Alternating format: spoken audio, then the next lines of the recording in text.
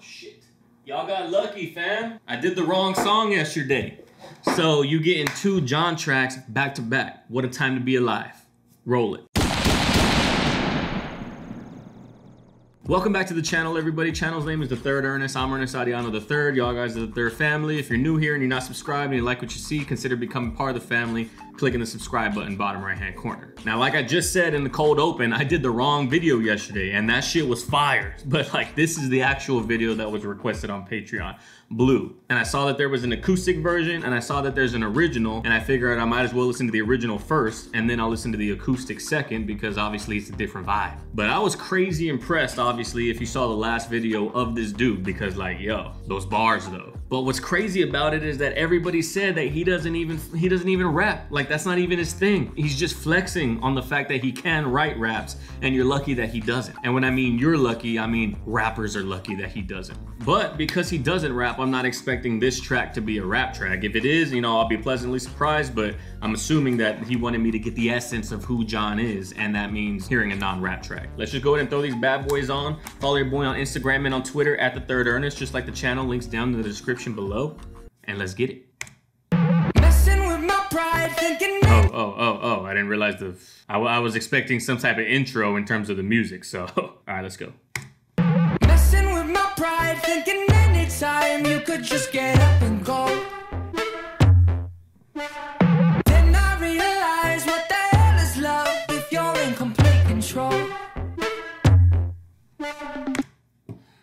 Love bars right here, or, or agony bars, I guess you could say. What the hell is love if you're in complete control? Like love is a give and take. It's a tango. It's a two-way street. Some other cliche about like how how two people have to come together. There's got to be sacrifice. There's got to be compromise, and it's not love if you're in complete control.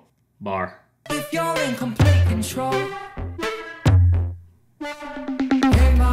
Ah, that little in the in the right ear. That was tight. And I don't know like the type of music that this is. It's like kind of electronic. It sounds like it fits the artwork. Is exactly what it sounds like. It's like kind of futuristic, but it's also kind of electronic. Got this little electric feel, just like just like the artwork does. It sounds tight though. I like it. And then that little in the ear, man, that's really my favorite part of the production so far, right here. Hey ma, hey ma.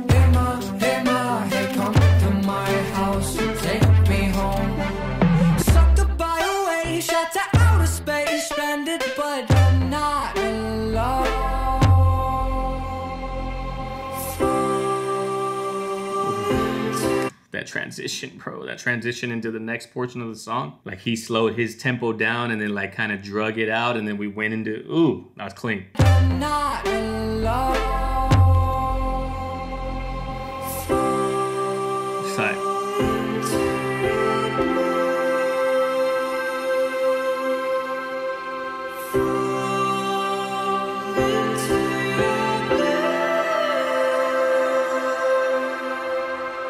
that was clean. the dude's got range on his voice for sure. Like if that's him singing, which I want to say that it is, obviously, definitely a singer for sure. Definitely a vocalist. And so far, I understand why y'all say that this dude is a talent because the bars were fire last time. His singing is fire this time. And then on top of that production, if he produced it, the production kind of sounds like not radio production pop. It's like kind of experimental electronic pop which is tight. I like that. Fighting it is hopeless, sinking in your ocean, just like uh, you designed me to do.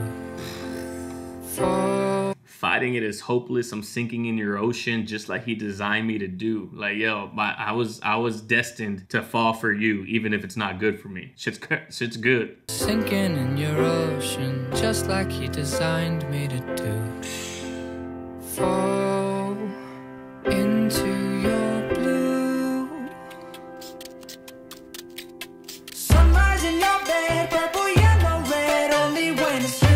This is like, and I, am gonna I'm gonna compare him to this, and y'all might not like the comparison, but it's very 21 Pilots ish. It reminds me of it reminds me of after Chlorine when they switch and they go into the can you can you build my house with pieces? I'm just a chemical. When they switch into that part, that's what that reminded me of right there. And then we go back into the normal song, which is way faster paced. It's like more, it's brighter compared to that was very melancholy. This song is definitely not written for the radio, and a lot of the times, most of the times, I would say the songs that are written not for the radio for the album, they're they're better than the songs that are written for the radio. And this right here is like that. Into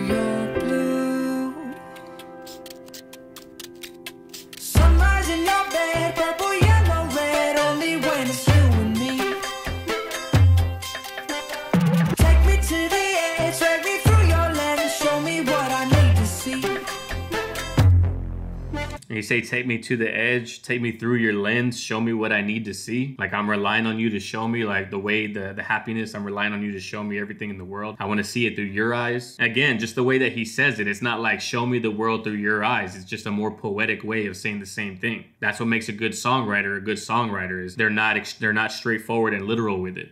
It's just dope.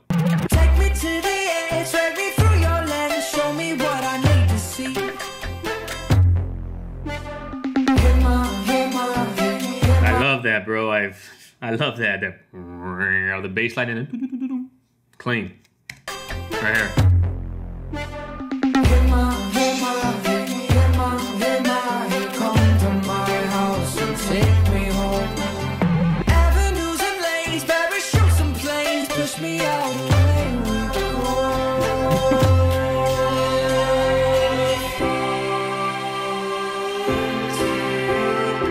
Just the transition into the hook. I don't even know if this is considered a hook. It could be a bridge between the two different verses. It might not even have an official hook, but just the transition where it slows down and it comes kind of dreamy, and then boom, we get into the we get into just the piano and his voice. Clean. Uh, clean. And he said, Come to my house and take me home. Like, let's go. The house is not a home without you in it. Like, my home is wherever you are. So take me from my house and take me home. That's dope. And then avenues and lanes, parachutes and planes push me out. Away we go. That's fire. Like, like I need that extra push. Like I'm, I'm kind of timid. Push me out and we'll go together. Dope. But the production to go into the chorus is my favorite so far.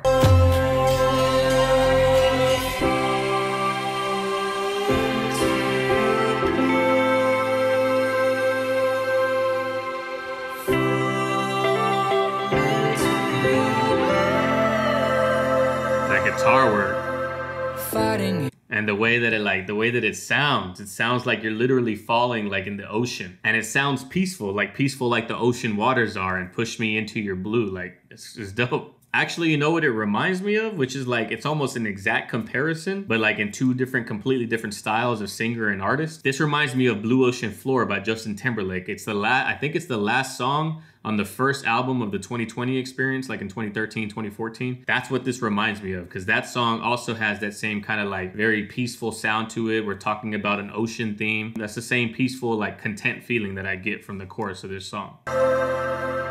Fighting it is hopeless, sinking in your ocean, just like he designed me to do. Such a dope line.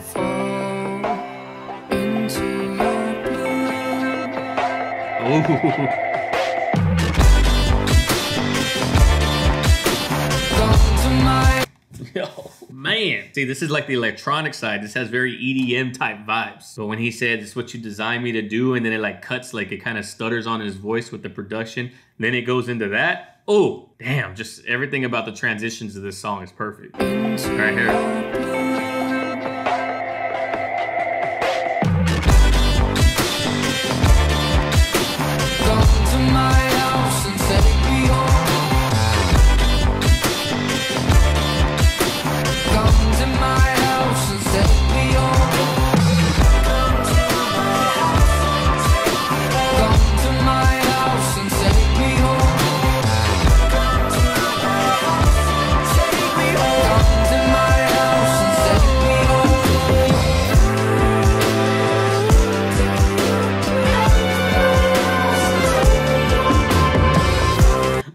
Different elements of the production that are happening right here, like all of the different sounds from earlier in the song, all coming together. Yeah. It's like the last song at the end of the first act to Hamilton nonstop. When at the very end, when all of the different characters, all of their different sounds, all of their different attitudes all combine, and everybody's singing over over the top of each other because it's the end, it's the final part of the first act. Yo, it's got that. This dude is like mad talented. But just listen to like all the different production elements that are in this part of the song. It's like the entire song comes together for the climax. It's dope.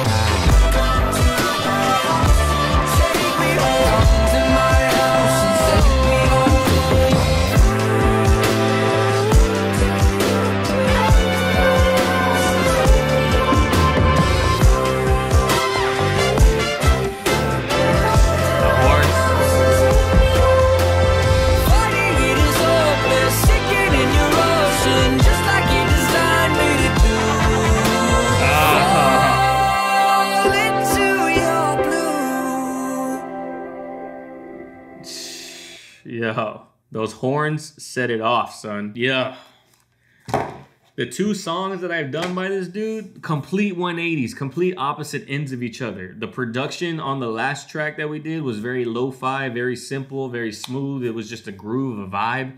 This one right here is like on the opposite end, especially toward the end. The production gets crazy heavy. It's clearly the climax of the track right there at the very end. Yo, this song was dope too. I want to listen to the whole album, but I kind of don't want to right now, only because I want to react to him in the future, because that shit was fire. But yo, that pretty much ends today's video, ladies and gentlemen. If you like what you see, please consider liking and leaving comment down below. That stuff helps the algorithm push it out there to other people, so that way people can find the channel and find this song, and if they like it enough, they can subscribe. Also, if you like what you see enough, now that we're at the end of the video, consider becoming part of the family as well by yourself clicking subscribe. That shit means the world to me. We're trying to get to 100,000 subscribers before my birthday, which is on June 26th. And we're almost at 83 right now. Follow your boy on Instagram and on Twitter at the Third Ernest, just like the channel. Links down in the description below. Hit up the Discord. The Discord is also linked down in the description below. If you want to be able to talk to me, that's the best place to do it because I'm in there uh, pretty much every evening trying to like just see what's up with everybody. But like I always say at the end of all of my videos, go out there in the world, love and care for one another, love and care for each other. And I'll catch everybody on the next video. Peace.